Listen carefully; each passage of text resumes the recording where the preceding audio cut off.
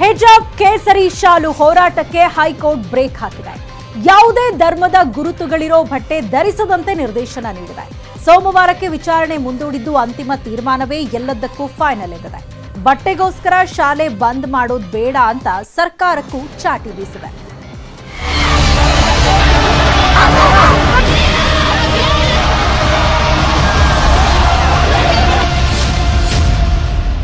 ಧರ್ಮ, ಸಮವಸ್ತ್ರ, ಕಚ್ಚಾಟಕ್ಕೆ ಅಲ್ಪ ವಿರಾಮ.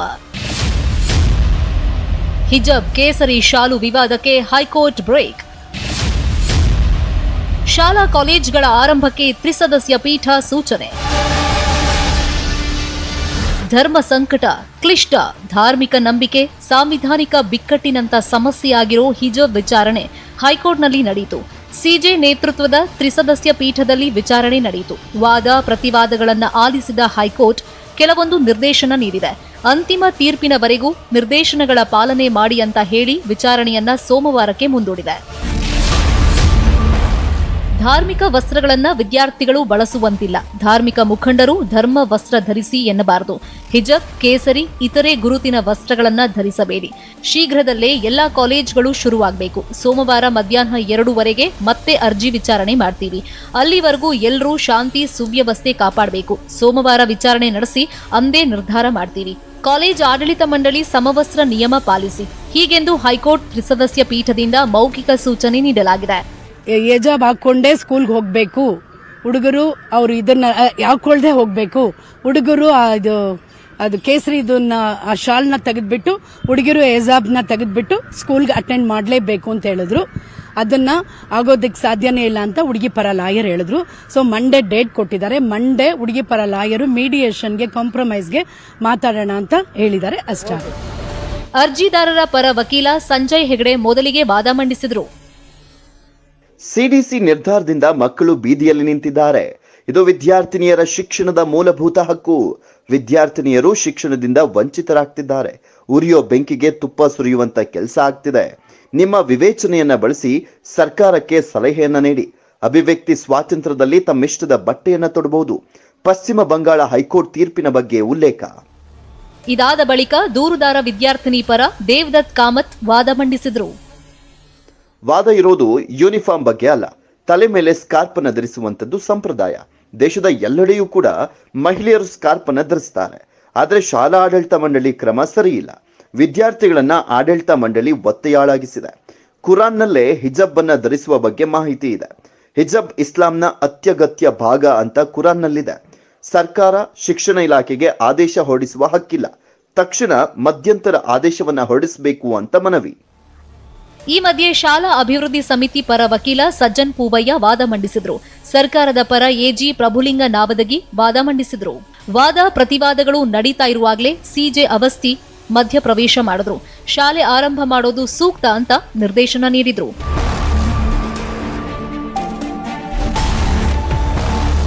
ಹೈಕೋರ್ಟ್ ನಿರ್ದೇಶನ ಬೆನ್ನಲ್ಲೇ ಸಿಎಂ ತುರ್ತು ಸಭೆ ನಡೆಸಿದ್ರು. ಗೃಹ ಸಚಿವ, ಶಿಕ್ಷಣ ಸಚಿವರ ಜೊತೆ ಸಭೆ ಮಾಡಿದ್ರು. Bureau report, news eighteen Kannada.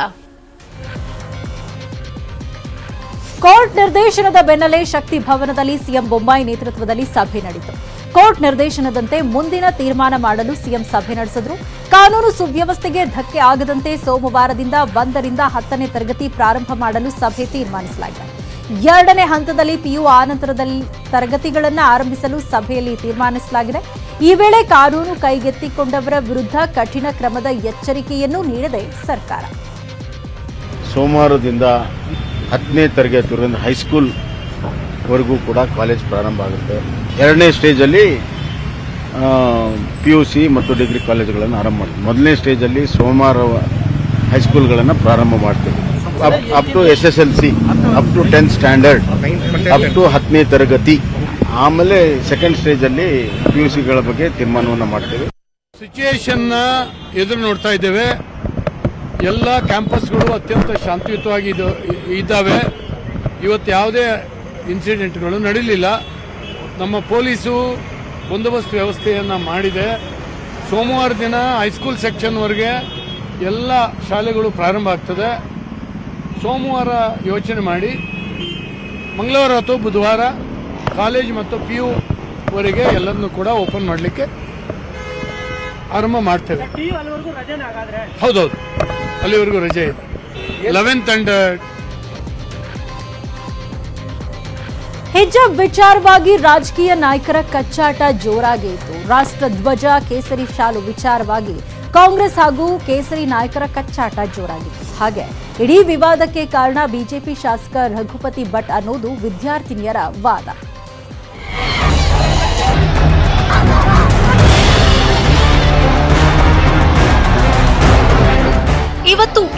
ರಾಜ್ಯ ಹೊತ್ತಿ ಉರಿಯೋ ಹಾಗೆ ಮಾಡಿದೆ ಹಿಜಬ್ ಹೋರಾಟ. ಹಿಜಬ್ ವಿವಾದಕ್ಕೆ ಮೂಲವೇ ಎಬಿವಿಪಿ ಪ್ರತಿಭಟನೆ. ಮಣಿಪಾಲದಲ್ಲಿನ ಯುವತಿಯ ಅತ್ಯಾಚಾರ ಖಂಡಿಸಿ ಎಬಿವಿಪಿ ಪ್ರತಿಭಟನೆ ಮಾಡಿತ್ತು. ಹಿಜಬ್ ಬುರ್ಖಾ ಧರಿಸಿದ್ದ ವಿದ್ಯಾರ್ಥಿನಿಯರು ಸಹ ಎಬಿವಿಪಿ ಪರ ಹಾಗೂ ಯುವತಿಗೆ ನ್ಯಾಯ ಕೊಡಿಸಲು ಹೋರಾಡಿದ್ರು.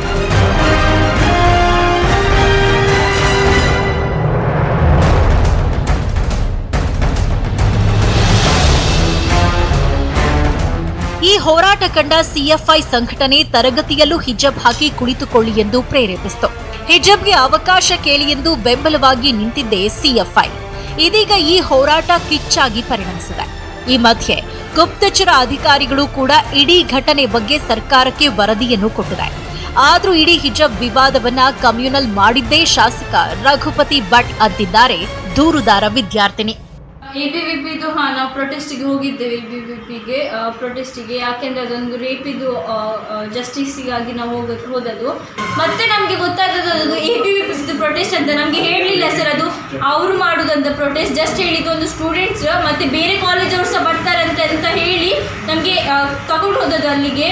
ಶಿ ಎಂತ ಸರ್ ಅದು ಎಂತ ಸರ್? ಇದೇ ನೋ ಇದೇ ಇಲ್ಲ ಸರ್. ಎಂತ ರಿವೆಂಜ್ ಈ ಪ್ರಾರಂಭ ಮಾಡಿದವರು ಎಸ್ ಡಿ ಪಿ ಅವರು. ಈ ಕಾಂಗ್ರೆಸ್ನವ್ರಿಗೆ ಮತ್ತೆ ಭಯ ಶುರುವಾಯ್ತು. ಏನು ಅಂದ್ರೆ ಓ ನಮ್ಮದು ಮುಸ್ಲಿಂ ವೋಟ್ಸ್ ಎಲ್ಲ ಎಸ್ ಡಿ ಪಿ ಅವ್ರು ತಗೊಳ್ತಾರೆ ಅಂತ ಹೇಳ್ಕೊಂಡು ಎಸ್ ಡಿ ಪಿ ಅವ್ರಿಗಿಂತ ಜೋಸ್ಟ್ ಜೋರಿ ಮುಂಚೆ ಅವರಿಗೆ ಗೊತ್ತಿತ್ತಿದ್ದು ಅವರು ಸಮಾಧಾನ ಮಾಡಬೇಕು ಅಂತ ಮುಸ್ಲಿಂ ಮುಖಂಡರುಗಳೇ ಬಂದು ಪ್ರಯತ್ನ ಮಾಡಿದ್ದಾರೆ. ಆಮೇಲೆ ಏನಾಯಿತು?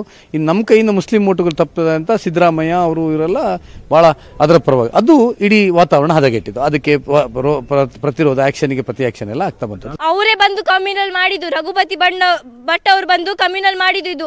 ನಮ್ಮ ಕಾಲೇಜಿಗೆ ಬಂದು ಹೇಳ್ತಿದ್ದಾರೆ, ನೀವು ಹಿಜಾಬ್ ಹಾಕಿದ್ರೆ ನಮ್ಮದವರು ಕೇಸರಿ ಶಾಲ್ ಹಾಕಿ ಬರ್ತಾರಂತ. ಅವಾಗ ತನಗೆ ಎಂತ ಸುಖೇಶ್ವರ ಕೇಸರಿ ಶಾಲ್ ಇರ್ಲಿಲ್ಲ ಅವರೇ ಕೊಟ್ಟದು ಇಲ್ಲಿ. ಅವರ ಮಾತಿಗೆಲ್ಲ ಬೆಲೆ ಕೊಡ್ಲಿಕ್ಕಾಗಲ್ಲ. ಅವರು ಸುಳ್ಳು ಹೇಳ್ಕೊಂಡು ಅಶಿಸ್ತಿನಿಂದ ಇರುವಂಥ ಅವರಿಗೆ ವಿದ್ಯಾಭ್ಯಾಸ ಮುಖ್ಯ ಅಲ್ಲ. ಅವರಿಗೆ ಇಲ್ಲಿ ಗಲಭೆಗಳಾಗುವಂತಹದ್ದು ಇಲ್ಲಿ ಆ, ಅಶಾಂತಿ ನಿರ್ಮಾಣ ಮಾಡುವಂತಹದ್ದೇ ಅವರ ಉದ್ದೇಶ. ಸರ್ ಹೌದು ಸರ್. ನಾವು ಹಾಕೊಂಡು ಬರ್ತಿದ್ವಿ. ಆದ್ರೆ ನಮಗೆ ನಾನು ಫಸ್ಟ್ ಪಿ ಇರುವಾಗ ನನಗೆ ಆವಾಗ ನನಗೆ ಫೋರ್ಸ್ ಮಾಡಿದ್ರು ತೆಗಿಲಿಕ್ಕೆ. ಪೇರೆಂಟ್ಸ್ ಬಂದಾಗಿ ಕೇಳಿದಾಗ ನಮಗೆ ಕೊಡಿ ಅಂತ ಹಾಕ್ಲಿಕ್ಕೆ ಆವಾಗ ಅವರು ಟೈಮ್ ಕೇಳಿದ್ರು ಆವಾಗ ಹೇಳಿದ್ರು, ಈಗ ಹಾಕೊಂಡು ಬರೋದು ಬೇಡ, ನಾವು ನಿಮಗೆ ಹೇಳ್ತೇವೆ ಅಂತ ಅಂತ ನಾವು ಡಿಸ್ಕಸ್ ಮಾಡಿ ಹೇಳ್ತೇವೆ ಅಂತ ಹೇಳಿದ್ರು. ಹಿಜಬ್ಗಾಗಿ ಹೋರಾಟ ಮಾಡ್ತಾ ಇರೋ ಕುಂದಾಪುರ ಸರ್ಕಾರಿ ಕಾಲೇಜಿನ ಮತ್ತೊಬ್ಬ ವಿದ್ಯಾರ್ಥಿನಿ ಹಜ್ರಾ ನ್ಯೂಸ್ ಏಟೀನ್ ಜೊತೆ ಮಾತನಾಡಿದ್ದಾರೆ. ಅವರೆಲ್ಲ ನಮ್ಮ ಫ್ರೆಂಡ್ಸ್ ಅಲ್ಲ ಸರ್ ನಾವು ನಾವು ಒಂದೇ ಒಂದೇ ಬಟ್ಟಲಲ್ಲಿ ಊಟ ಮಾಡ್ತಿದ್ದವರು. ಎಲ್ಲ ಒಟ್ಟಿಗೆ ನಾವು ಗಾಸಿಪ್ ಮಾಡ್ತಿದ್ದವರು. ಸರ್ ಈಗ ನಮ್ಮ ಅಗೇನ್ಸ್ಟ್ ಇದ್ದಾರೆ ಅಂತ ಹೇಳುವಾಗ ನಮಗೆ ಇಷ್ಟು ನೋವಾಗ್ತಾ ಉಂಟು ಅಂದ್ರೆ ನಾವು ಎನ್ಸ್ಲೇ ಇಲ್ಲ, ನಮಗೆ ಇಷ್ಟು ಎಲ್ಲ ನೋಡ್ಲಿಕ್ಕೆ ಸಿಗ್ತದೆ ಅಂತೆ. ಅವತ್ತು ಆ ಸ್ಟೇಟ್ಮೆಂಟ್ ಕೊಟ್ಟಿದ್ದರಿಂದ ಇವತ್ತು ಇಲ್ಲಿ ಸ್ಯಾಫ್ರಾನ್ ಶಾಲ್ ಹೊರಗೆ ಬಂದದ್ದು. ಸರ್ ಇಲ್ಲದ್ರೆ ಇಷ್ಟು ದೊಡ್ಡ ಕಮ್ಯುನಲ್ ಆಗ್ಲಿಕ್ಕೆ ಸಾಧ್ಯವೇ ಇರಲಿಲ್ಲ ಸರ್ ರಾಜಕೀಯ ಕಚ್ಚಾಟ, ರಾಷ್ಟ್ರಧ್ವಜ ಎಳೆದ ನಾಯಕರು. ಮೊನ್ನೆಯಷ್ಟೇ ಕೆಪಿಸಿಸಿ ಅಧ್ಯಕ್ಷ ಡಿಕೆ ಶಿವಕುಮಾರ್ ಮುಸ್ಲಿಂ ನಾಯಕರ ಜೊತೆ ಸಮಾಲೋಚನೆ ಮಾಡಿದ್ರು. ಈ ಬೆನ್ನಲ್ಲೇ ಇಂದು ಸಿದ್ದರಾಮಯ್ಯ ಜೊತೆ ಮುಸ್ಲಿಂ ನಾಯಕರು ಚರ್ಚೆ ಮಾಡಿದ್ರು.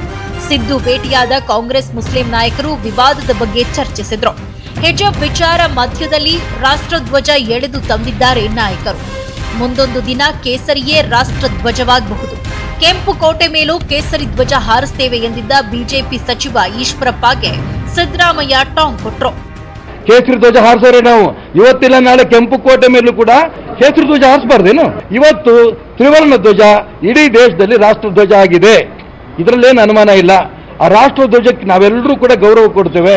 ರಾಷ್ಟ್ರಧ್ವಜದ ಬಗ್ಗೆ ಗೌರವ ಇಲ್ಲದೆ ಇರ್ತಕ್ಕಂಥವ್ರು ಪಬ್ಲಿಕ್ ಲೈಫ್ನಲ್ಲಿ ಇರಬಾರ್ದು ರಾಜಕಾರಣದಲ್ಲಿ ಇರಬಾರ್ದು. ಈ ದೇಶದಲ್ಲಿರ್ತಕ್ಕಂಥ ಪ್ರತಿಯೊಬ್ಬ ವ್ಯಕ್ತಿನೂ ಕೂಡ ರಾಷ್ಟ್ರ ಧ್ವಜಕ್ಕೆ ಗೌರವ ಕೊಡಬೇಕು. ಹಾಗೆ ಶಿವಮೊಗ್ಗದಲ್ಲಿ ಶಾಸಕರ ಪುತ್ರ ಕೇಸರಿ ಶಾಲು ಹಂಚಿದ್ರು ಎಂದು ಡಿಕೆ ಶಿವಕುಮಾರ್ ಆರೋಪಿಸಿದ್ರು. ಅದಕ್ಕೆ ಶಿಕ್ಷಣ ಸಚಿವ ನಾಗೇಶ್ ಟಾಂಗ್ ಕೊಟ್ರು. ಎಲ್ಲರಿಗೂ ಕೂಡ ಕೇಸರಿ ಶಾಲನ್ನ ತರಿಸಿಸ್ಬಿಟ್ಟು ಮೂಟುಗಟ್ಟಲೆ ಹಂಚುವಂತ ಕೆಲಸ ಮಾಡ್ಕೊಂಡು ಬಂದಿದ್ದಾರೆ. ಟರ್ಬನ್ಗಳನ್ನ ಹಂಚುವಂತ ಕೆಲಸ ಮಾಡಿದ್ದಾರೆ ಎಲ್ಲ ಬಿಜೆಪಿ ಕಾರ್ಯಕರ್ತರು ಈ ಕೆಲಸ ಮಾಡಿದ್ದಾರೆ. ಯಾವುದೇ ಕಾರಣದಲ್ಲಿ ಯಾವುದೇ ನಾಯಕರು ಅದು ಬಿ ಜೆ ಪಿನವ್ರು ಮಾಡಿದಾರೋ ಕಾಂಗ್ರೆಸ್ನವ್ರು ಮಾಡಿದಾರೋ ಎಸ್ ಡಿ ಪಿ ಐನವ್ರು ಮಾಡಿದಾರೋ ಕಮ್ಯುನಿಸ್ಟ್ರು ಮಾಡಿದಾರೋ ಇದನ್ನು ನಾನು ತಗಂತಿಲ್ಲ ಇವತ್ತು ನಮ್ಗೆ ತುಂಬ ನಮ್ಮೆಲ್ಲರಿಗೂ ಇಂಪಾರ್ಟೆಂಟು ಸಮಾಜದ ಸ್ವಾಸ್ಥ್ಯ. ಸ್ವಾಸ್ಥ್ಯ ಕಾಪಾಡುವಂಥದ್ದು ನಮ್ಮೆಲ್ಲರ ಜವಾಬ್ದಾರಿ. ಯಾರ್ಯಾರು ರಾಜಕೀಯಕ್ಕೆ ಬಂದಿದ್ದೀವಿ ಅವ್ರು ನಮ್ಮೆಲ್ಲರ ಜವಾಬ್ದಾರಿ. ಅಂದ್ರೆ ಮಾಹಿತಿ ಇದ್ದು ಹೇಳಿದ್ದಾರೋ ಮಾಹಿತಿ ಇಲ್ಲದೆ ಹೇಳಿದ್ದಾರೋ ನನಗೆ ಗೊತ್ತಿಲ್ಲ. ಮಾಹಿತಿ ಅವ್ರ ಹತ್ರ ಇದ್ರೆ ಆ ಮಾಹಿತಿನ ಸಾರ್ವಜನಿಕವಾಗಿ ಸಾಕ್ಷಿ ಸಮೇತ ಜನತೆ ಮುಂದೆ ಇಟ್ಟರೆ ಒಪ್ಪುತ್ತಾರೆ ಇಲ್ಲದ್ರೆ ಸುಮ್ಮನೆ ಗಾಳಿಲಿ ನಾನು ಒಂದು ಗುಂಡ ಹಾರಿಸ್ತೀನಿ ಅಂತ ಮಾತಾಡ್ದಂಗೆ ಆಗುತ್ತೆ. ಶಿವಮೊಗ್ಗಗೆ ಸೂರತ್ನಿಂದ ಕೇಸರಿ ಶಾಲು ಬಂದಿದೆ ಅಂದಿದ್ರು ಡಿಕೆ ಅದಕ್ಕೆ ಈಶ್ವರಪ್ಪ ಟಾಂಗ್ ಕೊಟ್ರು. ಎಲ್ಲ ಎಲ್ಲ ಪೇಟೆಗಳೆಲ್ಲ ಎಲ್ಲಿ ಬಂದ್ಬಿಟ್ಟು ರಾತ್ರಿ ರಾತ್ರಿ? ಐವತ್ತು ಲಕ್ಷ ಶಾಲ್ಗಳನ್ನ ಸೂರತ್ತಲ್ಲಿ ಆರ್ಡರ್ ಮಾಡಿದ್ದಾರೆ. ಏನು ನನಗೆ ಗೊತ್ತಿಲ್ವಾ? ನಮಗೂ ಜನ ಇದ್ದಾರೆ ಲಿಂಕ್ ಇದೆ ಏನೇನಿದೆ ಯಾರು ಟ್ರಾನ್ಸ್ಪೋರ್ಟರು, ಯಾರು ಆರ್ಡರ್ ಮಾಡಿದ್ದಾರೆ, ಎಲ್ಲ ಕೂಡ ನಮಗೂ ಗೊತ್ತಿದೆ ನಮಗೆ. ಡಿ ಕೆ ಶಿವಕುಮಾರಿಗೆ ಗೊತ್ತಿಲ್ಲ. ಇದು ಎಲ್ಲಿಂದ ಬಂತು ಏನು ಹೇಳ್ಬೇಕು ಅಂತ.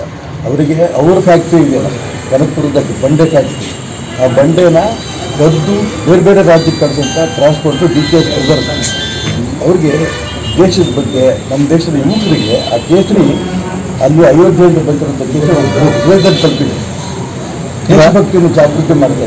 ಅದು ಅವರು ಹೀಗೆ ಬಿಜೆಪಿ ಕಾಂಗ್ರೆಸ್ ನಾಯಕರು ಕಚ್ಚಾಡ್ತಾ ಇರುವಾಗಲೇ ಅಮಾಯಕ ಮಕ್ಕಳ ಜೊತೆಗೆ ಚಲ್ಲಾಟ ಆಡಬೇಡಿ ಅಂತ ಆಕ್ರೋಶಗೊಂಡ್ರು ಕುಮಾರಸ್ವಾಮಿ. ಇದು ನಡೀತಾ ಇರತಕ್ಕಂಥದ್ದು ಓನ್ಲಿ ಸರ್ಕಾರಿ ಶಾಲೆಗಳಲ್ಲಿ. ಅಂದ್ರೆ ಕಂಡವ್ರ ಮಕ್ಕಳನ್ನ ಬಾವಿಗೆ ತಳ್ಳುವಂತಕ್ಕಂಥ ಇದೆಯಲ್ಲ ಮಾತು. ಅದು ಇವತ್ತು ನಡೀತಾ ಇರತಕ್ಕಂಥದ್ದು ಈ ರಾಜ್ಯದಲ್ಲಿ. ಇದನ್ನ ಪೋಷಕರು ಅರ್ಥ ಮಾಡ್ಕೋಬೇಕು. ಈ ಎಲ್ಲಾ ಕಚ್ಚಾಟಗಳ ನಡುವೆ ಬಾಗಲಕೋಟೆ ಜಿಲ್ಲೆಯ ರಬಕವಿ ಬನಹಟ್ಟಿ ಪಟ್ಟಣ ಇನ್ನೂ ಉದ್ವಿಗ್ನ ಸ್ಥಿತಿಯಲ್ಲೇ ಇದೆ. ಒನ್ ಫೋರ್ಟಿ ಫೋರ್ ಸೆಕ್ಷನ್ ಇದ್ದ ಕಾರಣಕ್ಕೆ ಪಟ್ಟಣದಲ್ಲಿ ಅಂಗಡಿ ಮುಂಗಟ್ಟು ಬಂದ್ ಆಗಿದ್ದು ಸಂಚಾರ ವಿಳಂಬವಾಗಿತ್ತು. Bureau report, news eighteen Kannada. High court ನಿರ್ದೇಶನಗಳ ಬಗ್ಗೆ ಸಿಎಫ್ಐ ಚಕಾರ ಎತ್ತಿದೆ. ಹಾಗೆ ಸಿಎಫ್ಐ ಕೈವಾಡ ಎನ್ನುವ ಗುಪ್ತಚರ ವರದಿಗೂ ನಮಗೂ ಸಂಬಂಧವೇ ಇಲ್ಲ ಆಗ್ತದೆ. ಹಾಗೆ ಹೈಕೋರ್ಟ್ ಆದೇಶ ನಮಗೆ ತೃಪ್ತಿ ನೀಡಿಲ್ಲ. ಇದನ್ನು ನಾವು ನಿರೀಕ್ಷಿಸಿಲ್ಲ ಅಂತಲೂ ಹೇಳಿದರು ಮಾನ್ಯ ಘನ ನ್ಯಾಯಾಲಯ ಇವತ್ತು ಏನು ತೀರ್ಪು ಕೊಟ್ಟಿದೆ? ಮುಗಿಸ್ತೀನಿ. ಮಧ್ಯ ಮಧ್ಯಂತರವಾಗಿ ಏನು ಇವತ್ತು ಒಂದು ಆದೇಶ ನೀಡಿದೆ ಆ ಆದೇಶದ ಪ್ರಕಾರ ಅದನ್ನು ನಾವು ಗೌರವಿಸ್ತೀವಿ. ನಮ್ಗೆ ಅಸಮಾಧಾನ ಇದೆ. ಸಮಾಧಾನ ಇಲ್ಲ ಆ ತೀರ್ಪು ಆ ಮಧ್ಯಂತರ ತೀರ್ಪಿನಿಂದ. ಆದ್ರೂ ಕೂಡ ಒಂದ್ ನಾವು ಸೋಮವಾರದವರೆಗೆ ಈ ಒಂದು ಮಧ್ಯಂತರ ಆದೇಶ ಸಮಾಧಾನಕರವಾಗಿರುವಂತಹ ಆದೇಶವಲ್ಲ. ಮುಂದೆ ಕೂಡ ಸೋಮವಾರದಲ್ಲಿ ಚರ್ಚೆ ನಡೀಲಿಕ್ಕಿದೆ, ವಿಚಾರಣೆ ನಡೀಲಿಕ್ಕಿದೆ. ಜಡ್ಜ್ಮೆಂಟ್ ನಮ್ಮ ಫೇವರ್ ಆಗಿ ಬರುತ್ತೆ ಅಲ್ವಂತ ಸಂಪೂರ್ಣ ಭರವಸೆ ನಮಗೆ ಇದೆ. ಎಲ್ಲಿಯಾದರೂ ನಮ್ಮ ವಿರುದ್ಧ ಬಂದರೆ ಕಾನೂನಾತ್ಮಕ ನೆಲೆಗಟ್ಟಿನಲ್ಲಿ ನಮ್ಮ ಹೋರಾಟವನ್ನು ಇನ್ನಷ್ಟು ಉನ್ನತ ಮಟ್ಟಕ್ಕೆ ನಾವು ಮುಂದುವರಿಸಲಿಕ್ಕಿದ್ದೇವೆ. ನಮ್ಮ ಪರವಾಗಿ ತೀರ್ಪು ಬರುತ್ತೆ, ಏನಾದರೂ ಒಂದು ಡಿಸಿಷನ್ ಬರುತ್ತೆ ಅಲ್ವಂತ ಭರವಸೆ ನಮಗೆ ಇವತ್ತಿತ್ತು. ವಿದ್ಯಾರ್ಥಿಗಳು ಶಿಕ್ಷಣದಿಂದ ಇವತ್ತು ವಂಚಿತರಾಗ್ತಾ ಇದ್ದಾರೆ. ಶಾಲಾ ಕಾಲೇಜುಗಳು ಡಿಲೇ ಆಗ್ತಾ ಇದೆ. ಮತ್ತು ಎಕ್ಸಾಮ್ಸ್ಗಳು ಕೂಡ ಬರ್ತಾ ಇದೆ. ಆದಷ್ಟು ಬೇಗ ಜಡ್ಜ್ಮೆಂಟ್ ಕೊಡಬೇಕಂತಾಗಿರೋದು ನಮ್ಮ ಭರವಸೆ ಇದ್ದದ್ದು. ಅದು ಇನ್ನು ಸೋಮವಾರಕ್ಕೆ ಮುಂದೂಡಿಸಿದ್ದಾರೆ. ನಮಗೆ ಆದರೂ ಕೂಡ ಭರವಸೆ ಇದೆ ಕೋರ್ಟ್ನ ಮೇಲೆ. ನಮ್ಮ ಪರವಾಗಿ ತೀರ್ಮಾನ ಬರುತ್ತೆ ಅಲ್ವಂಥದ್ರಲ್ಲಿ ಅಗ್ರರಾಷ್ಟ್ರೀಯ ವಾರ್ತೆ ಮುಂದುವರಿಯುತ್ತೆ. ಚಿಕ್ಕ ಬ್ರೇಕ್ ಆದ್ಮೇಲೆ.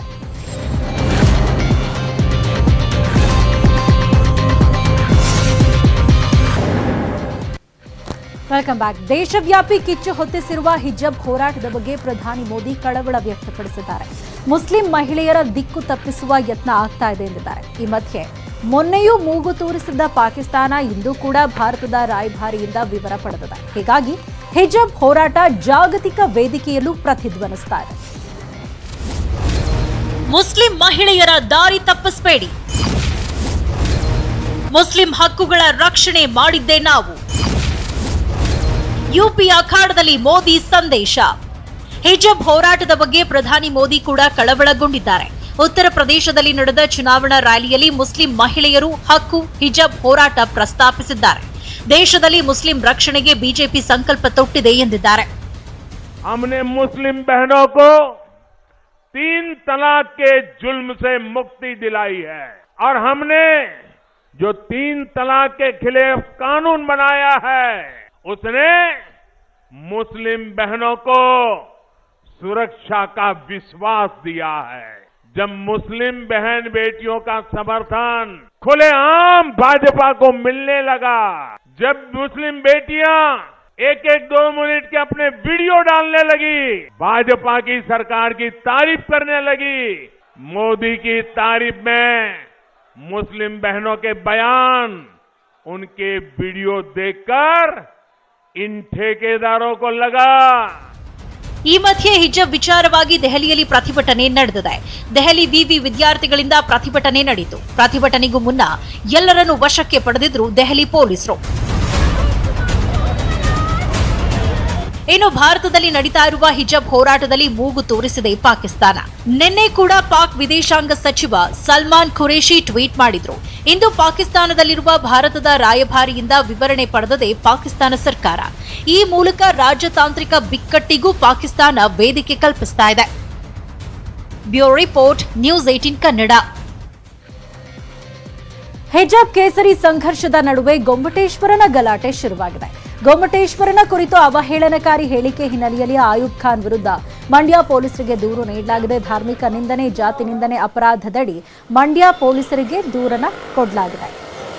ಮಂಡ್ಯ ಸೆಂಟ್ರಲ್ ಪೊಲೀಸ್ ಠಾಣೆಯಲ್ಲಿ ದೂರು ದಾಖಲಾಗಿದೆ. ಮೈಸೂರಿನ ಶ್ರೀ ಐಬ್ ಖಾನ್ ಎಂಬ ವ್ಯಕ್ತಿ ನಮ್ಮ ಜೈನ ಧರ್ಮದ ಬಗ್ಗೆ ಅತ್ಯಂತ ಅವಹೇಳನಕಾರಿಯಾಗಿ ಗೊಮ್ಮಟೇಶ್ವರ ಬಾಹುಬಲಿ ಸ್ವಾಮಿ ಬಗ್ಗೆ ಕೆಟ್ಟದ್ದಾಗಿ ಮಾತನಾಡಿದ್ದಾರೆ. ಇದನ್ನು ನಾವು ತೀವ್ರವಾಗಿ ಪ್ರತಿಭಟಿಸುತ್ತೇವೆ. ಧರ್ಮ ನಿಂದನೆ ಜಾತಿ ನಿಂದನೆ ವಿರುದ್ಧ ದೂರನ್ನು ಸಹ ದಾಖಲಿಸಿದ್ದೇವೆ ಸೆಂಟ್ರಲ್ ಪೊಲೀಸ್ ಸ್ಟೇಷನ್ನಲ್ಲಿ ಇದನ್ನು ಜಿಲ್ಲಾಧಿಕಾರಿ ಅಗ್ರರಾಷ್ಟ್ರೀಯ ವಾರ್ತೆ ಮುಂದುವರಿಯುತ್ತೆ. ಚಿಕ್ಕ ಬ್ರೇಕ್ ಆದ್ಮೇಲೆ.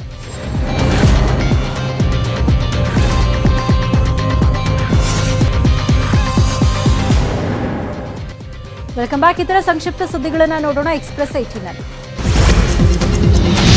ರಾಮನಗರದಿಂದ ನಿಖಿಲ್ ಕುಮಾರಸ್ವಾಮಿ ಸ್ಪರ್ಧಿಸೋ ಸುಳಿವು ಚಾಮುಂಡೇಶ್ವರಿಯಲ್ಲಿ ನಾನೇ ಅಭ್ಯರ್ಥಿ ಅಂದ್ರು ಎಚ್ಡಿಕೆ ಚನ್ನಪಟ್ಟಣ ಕ್ಷೇತ್ರವನ್ನ ಇನ್ನೊಬ್ಬರಿಗೆ ಬಿಟ್ಕೊಡ್ತಾರ ಕುಮಾರಸ್ವಾಮಿ? ಗೋವಾ ಚುನಾವಣೆ ಹಿನ್ನೆಲೆ ಕಾಂಗ್ರೆಸ್ ಅಬ್ಬರದ ಪ್ರಚಾರ. ಗೋವಾದಲ್ಲೇ ಬೀಡುಬಿಟ್ಟ ಕಾಂಗ್ರೆಸ್ ನಾಯಕ ಸತೀಶ್ ಜಾರಕಿಹೊಳಿ ಉತ್ತರ ಕರ್ನಾಟಕದ ಕನ್ನಡಿಗರ ಮತ ಸೆಳೆಯೋ ಕಸರತ್ತು. ಉತ್ತರ ಪ್ರದೇಶದಲ್ಲಿ ಮೊದಲ ಹಂತದ ಮತದಾನ ಸುಸೂತ್ರವಾಗಿ ನಡೆದಿದೆ. ದಾಖಲೆಯ ಶೇಕಡಾ ಐವತ್ತೊಂಬತ್ತು ಪಾಯಿಂಟ್ ಆರು ಒಂದರಷ್ಟು ಪ್ರಮಾಣದ ಮತದಾನ ನಡೆದಿದೆ. ಹನ್ನೊಂದು ಜಿಲ್ಲೆಗಳ ಐವತ್ತೆಂಟು ಕ್ಷೇತ್ರಗಳಿಗೆ ಮತದಾನ ನಡೆಯಿತು. ರಾಜ್ಯ ಯುವ ಕಾಂಗ್ರೆಸ್ ಅಧ್ಯಕ್ಷರಾಗಿ ಮಹಮ್ಮದ್ ನಲಪಾಡ್ ಪ್ರಮಾಣ ವಚನ ಸ್ವೀಕಾರ, ರಕ್ಷಾರಾಮಯ್ಯ ಗೈರು, ಸಿದ್ದರಾಮಯ್ಯ ಡಿಕೆ ಶಿವಕುಮಾರ್ ಸಮ್ಮುಖದಲ್ಲಿ ಅಸಮಾಧಾನ ಬಹಿರಂಗ. ಫೆಬ್ರವರಿ ಹದಿಮೂರರಂದು ಪಂಚಮಸಾಲಿ ಮೂರನೇ ಪೀಠ ಅಸ್ತಿತ್ವಕ್ಕೆ ನೂತನ ಜಗದ್ಗುರುಗಳ ಪೀಠಾರೋಹಣ ಹಾಗೂ ವಿರಾಟ್ ರೈತ ಸಮಾವೇಶ ಸಮಾರಂಭಕ್ಕೆ ಹೋಗ್ತೀನಿ ಎನ್ನುವ ಮೂಲಕ ಟೀಕಾಕಾರಿಗೆ ಟಾಂಗ್ ಕೊಟ್ಟ ಯತ್ನಾಳ್. ಲಖೀಂಪುರ ರೈತರ ಮೇಲೆ ಹಿಂಸಾಚಾರ ಪ್ರಕರಣ, ಪ್ರಮುಖ ಆರೋಪಿ ಆಶೀಶ್ ಮಿಶ್ರಾಗೆ ಜಾಮೀನು ಹೈಕೋರ್ಟ್. ಲಕ್ನೋ ಪೀಠದಿಂದ ಸಚಿವರ ಪುತ್ರನಿಗೆ ಬೇಲ್. ಇದಾಗಿತ್ತು ಇವತ್ತಿನ ಅಗ್ರರಾಷ್ಟ್ರೀಯ ವಾರ್ತೆಯ ಪ್ರಮುಖ ಸುದ್ದಿಗಳು ನೋಡ್ತಾ ನ್ಯೂಸ್ ಏಟೀನ್ ಕನ್ನಡ. ಜಾಲ ನಮ್ಮದು ಬಲ ನಿಮ್ಮದು.